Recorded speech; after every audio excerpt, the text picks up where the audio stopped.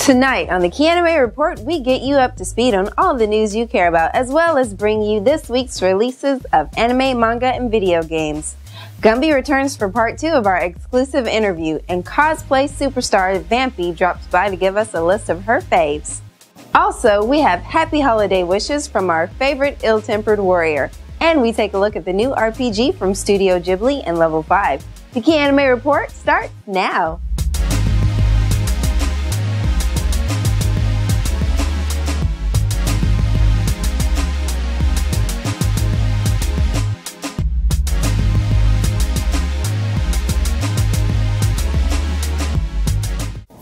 Welcome to another installment of our quaint little program. I'm Sheena, the world's foremost stealth assassin, and I'll be your host slash doombringer this evening. Let's get things started with this week's headlines and news.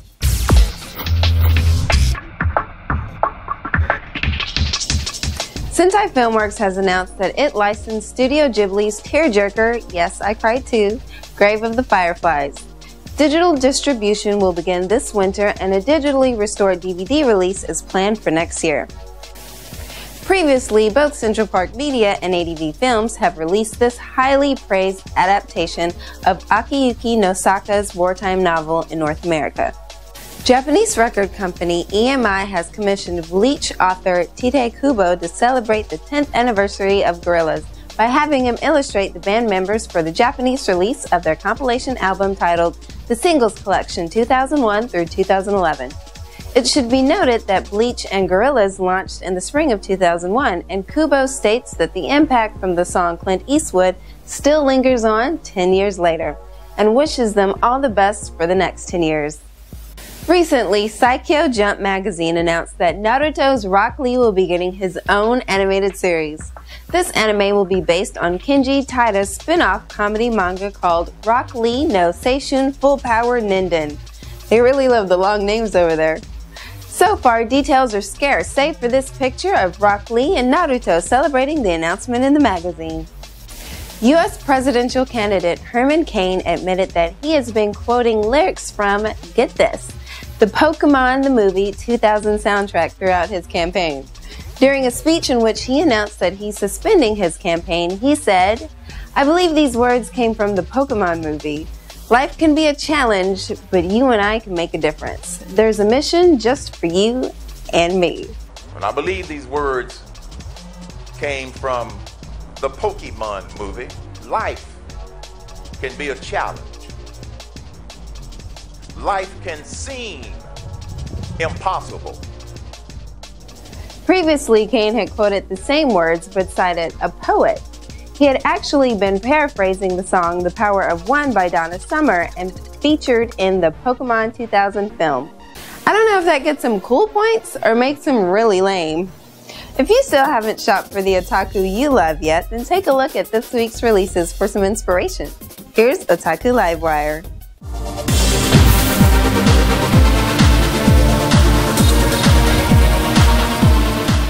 First up in this week's anime releases, Bleach Season 11. Get ready to power up in Dragon Ball Z level 1.2. There's tons of adventure in Kino's Journey, the complete collection. Get ready for some action with Ikki Tousen, the complete series. The 12 Kingdoms Part 3, A Great Distance in the Wind, The Sky at Dawn, comes to Blu-ray. In manga, we begin with Arata the Legend, Volume 8.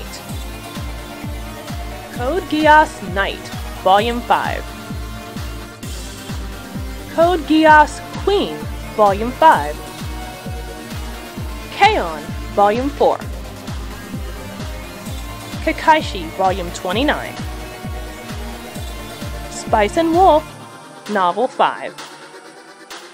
And lastly, Triple X Holic, Volume 18. And finally in video games, Gears of War 3 RAAM Shadow Expansion Pack comes exclusively to Xbox 360 as downloadable content. That's it for this week's Otaku Livewire. If you missed any releases, be sure to catch us on Facebook or YouTube. We have tons of manga hitting stores this week. So much, in fact, that we couldn't fit them all into this episode. But you can see the unabridged version of Otaku Livewire on our YouTube channel, so go online and subscribe. It's time to take a break, but don't go anywhere. We're just getting started. Coming up in the Ki Anime Report, John Mizell gives us his take on Miyazaki's first flick and pick of the week. Dan Bull returns to bust some Assassin's Creed rhymes, plus Gumby reminisces about his time with Raiden. Stay tuned.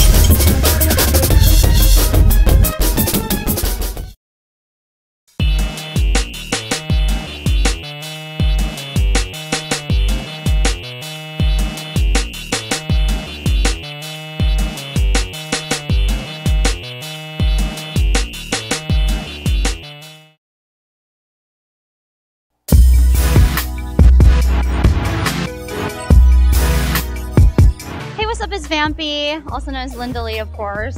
Um, my favorite three animes are Berserk. Impressive. It's a monster. Claymore. Claymore. Humanity's sole defense against the hunger of the monstrous Yoma. And Evangelion. Because they're all twisted, sick, and pretty much full of gore like I like them. So, yeah.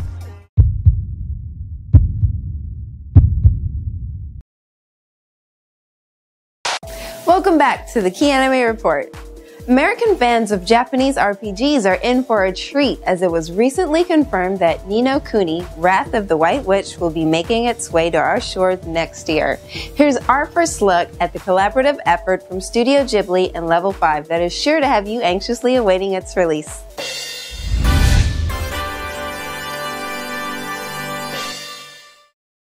This 少年が世界を救うというのか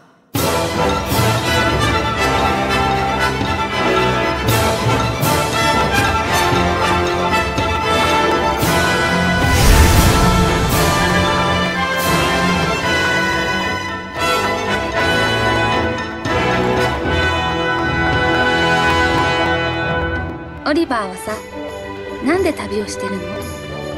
母さんを助けたいんだ。お？おどうかな？もっとちょうだい！お前ら懐くな懐くなほら。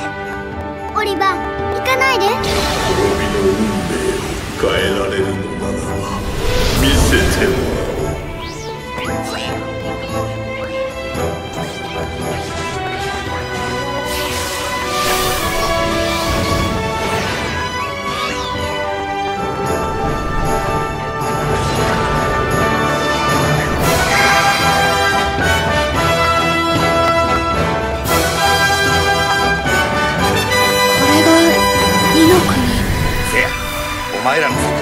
うもう一つの世界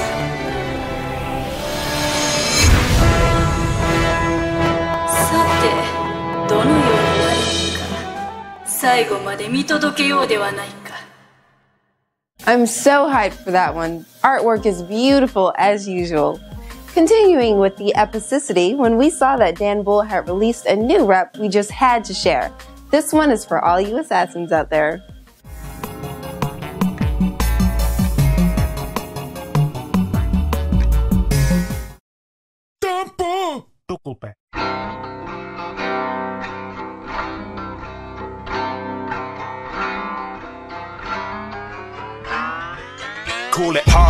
Hardcore. I make killing an art form. Death's cold, taste sweet as cart door. No need to start wars for a difference of opinion. Give me the name of your antagonist, I'll stick him in the ribs. Because I'm an assassin, one with a passion. But when I'm with the rapping, not with the fast, you're probably having a problem to follow the captions. I'm so ahead of my time, I'm probably rapping backwards. I'm a scholar of Latin with a master's in dispatching anybody that's hassling. One of my customers, I cut them up and jumped them up in a casket. What you've got to do is ask, and then I'll grab them and then stabbed them in the abdomen that minute and be finished with the killing before you finish with asking skin. A bird of prey with terminators, murder rate. I'm serving plate to pain up like a perverse buffet. Take you to the pearly gates, I'll impersonate a passerby. You wouldn't bat an eye until your circulation's pacified. So practiced I could account the crimes I perpetrated. How many spines of vertebrates I've snapped? My raps travel through sound and time, reverberate. Two generations permeate my serenade, regurgitated through a nerd rapper's recitation to your earthly playlist.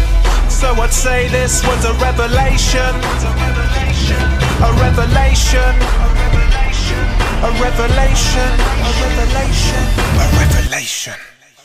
Another iPod edition. The holidays are approaching fast, and so a special guest dropped by and demanded that we let him spread some holiday cheer. And here he is.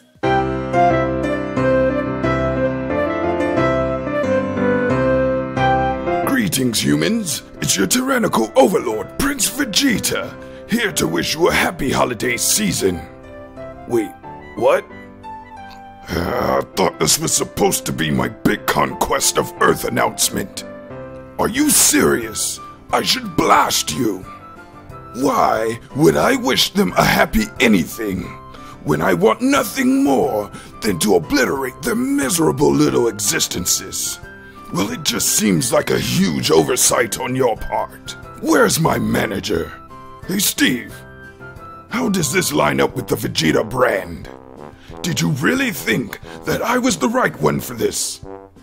That's it. I'm killing your family. Happy holidays. Where the f is my check?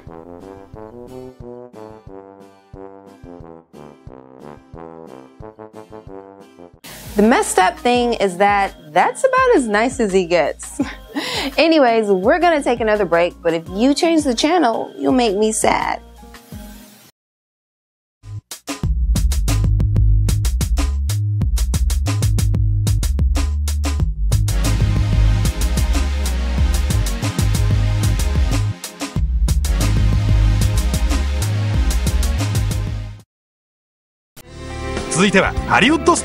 Hello. How are you? Nice to meet you. Konnichiwa. Will Smith this. お元気ですか？結構張ってるんじゃないですか？うわ勝手！ちょっと触ってみ. Oh my god. It's hard. It's like, what's up? What's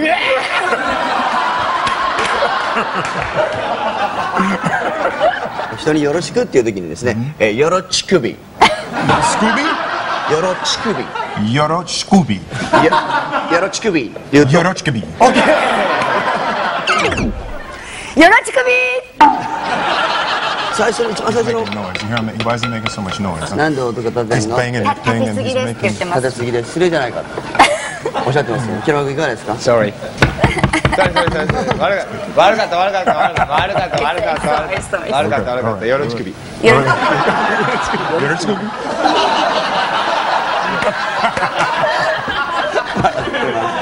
とても気さくなウィル・スミスさん以上「おいしくまのかじりパート2」でした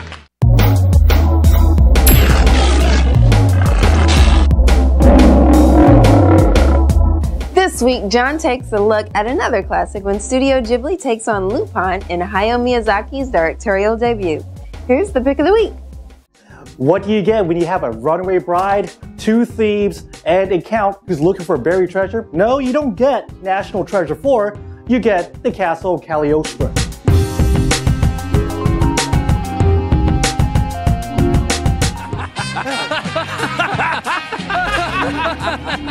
Billions of bucks with unmarked cereal. You're gonna love this movie. It's about two thieves who stole all this loot from a casino in Monaco. But guess what? The joke's on them because they're all counterfeited. You know, fake. It's fake. Huh?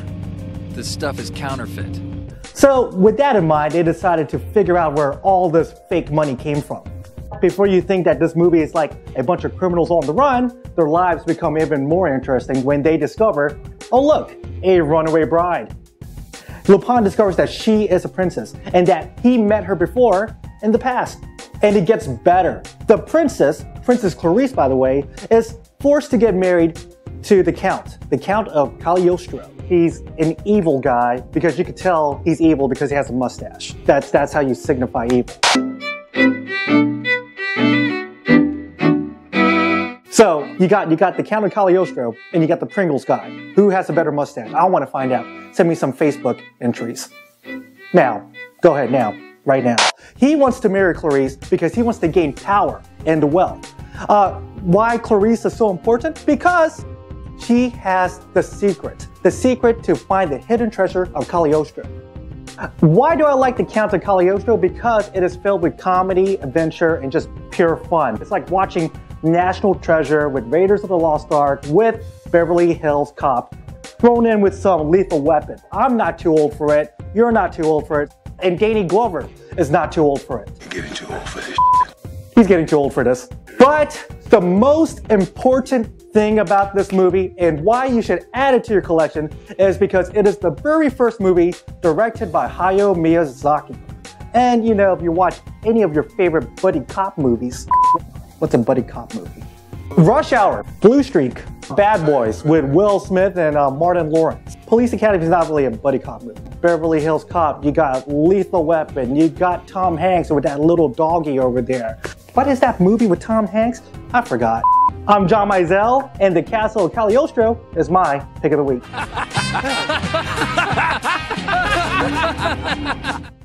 A few weeks ago, we introduced you to a living legend when we interviewed Gumby. Well, here's part two of our candid discussion with the green lump of clay as he delves into his relationship with Raiden, his thoughts on Bobby Brown, and even being a father.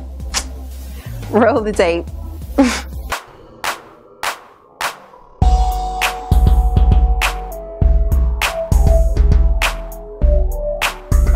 Yeah, dude. You take care of yourself. Another thousand years from now, let's make it sooner. Yeah, I know. It's too long. Tell Liu Kang I said hey, please. As a matter of fact, we met when I was a child. I didn't understand that he was a thunder god. It was a bit scary. I had just become into my phase of learning how to travel into books, and I, uh, someone left a hardback copy of Mortal Kombat. I was very frightened. It was it was a little beyond my you know my understanding. But you know, Lord Raiden understood I was just a little boy. He understood that I came from another realm. So he was totally understanding to me being made of clay. I had to run from Goro, but that's another that story. Raiden's had my back for a long time. He's more like th- the father I wish I could have had. He's a good man.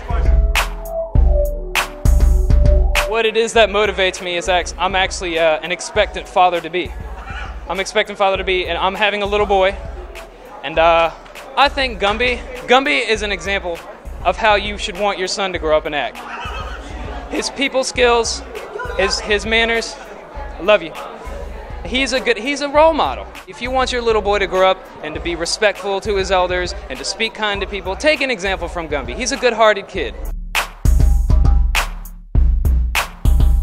I I don't know about all that. Um, uh, I could say he took it from me, but I'll just let him have it because he wears it well. Pokey cannot be here today, so I'm going to have my, my fellow actor Rich. He's going to portray Pokey for us, and we're going to give you a demonstration. We're going to show you how we warm up, how we get our get our, our communication going. We're going to demonstrate.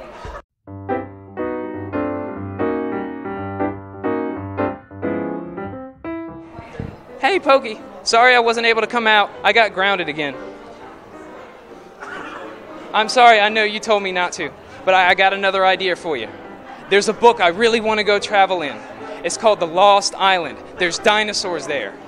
I want to take my camera there and film the dinosaurs. What do you think? What do you think, Pokey? Is that a good idea? You know Pokey talks, right? No.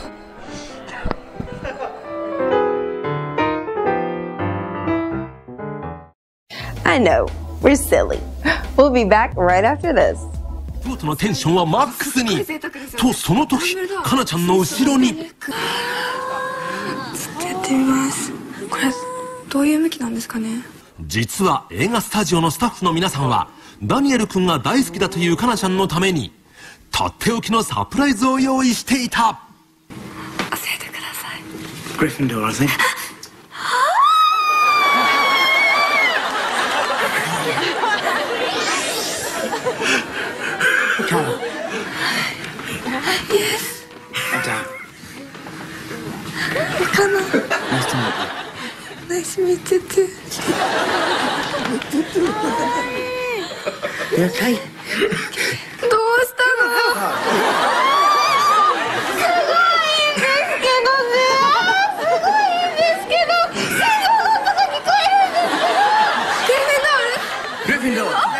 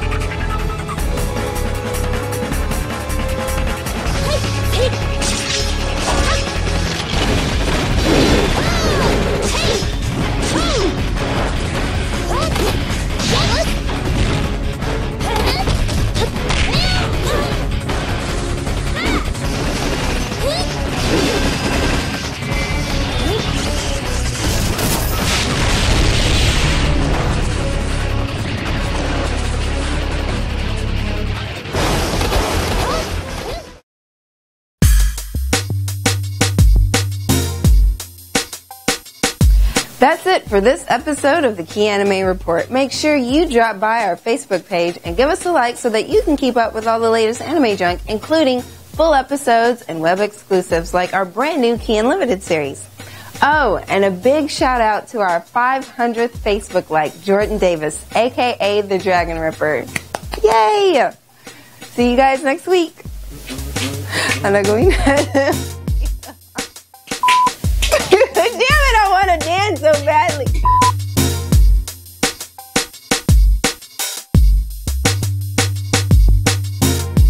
For you.